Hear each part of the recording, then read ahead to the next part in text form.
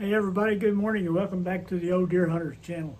Today I want to talk to you about the new Pulsar Helion XP50 Pro. When I uh, got my new uh, Thermion XP50, took it out that first night and uh, started looking out across the field with that new uh, Thermion 2 and then I compared it to the old image of the uh, Helion 2 this new Thermion was much better, much more clear and uh, bright. So uh, I quickly made a decision that I was going to have to upgrade to the new Helion Pro Series. Now, like the Thermion 2, the new uh, Helion Pro Series has a true 50 millimeter objective lens, and it also has the new uh, 25 millikelvin uh, thermal sensor inside, which gives you a brighter picture and clearer image. And the main reason is because, well, you know, the image is better because of this larger uh, uh, lens, f1.0 lens, so it's a little quicker. And also, that new uh, thermal sensor has much better heat separation. So you, you see all the lines uh, of the outlines of the animals, trees, uh, everything. The entire image is better, not just the, the backgrounds.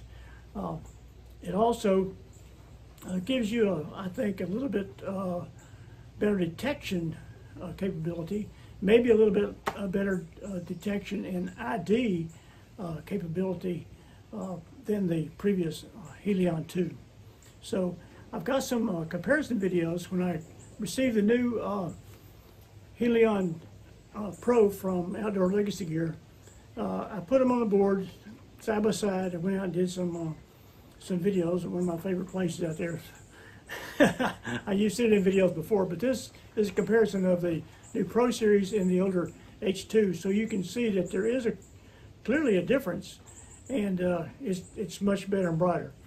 If you have a Helion 2, I mean, it's, it's a great image, but if you are thinking about upgrading, I want you to see the difference and see, you know, uh, what you'll be getting if you upgrade to the uh, Pro Series, or if you just uh, want to buy a Helion and you're trying to decide whether to buy the uh, H2 or the Pro Series. So it'll give you an idea of, of, of the uh, clarity and the improvements that they've done in this great thermal scanner.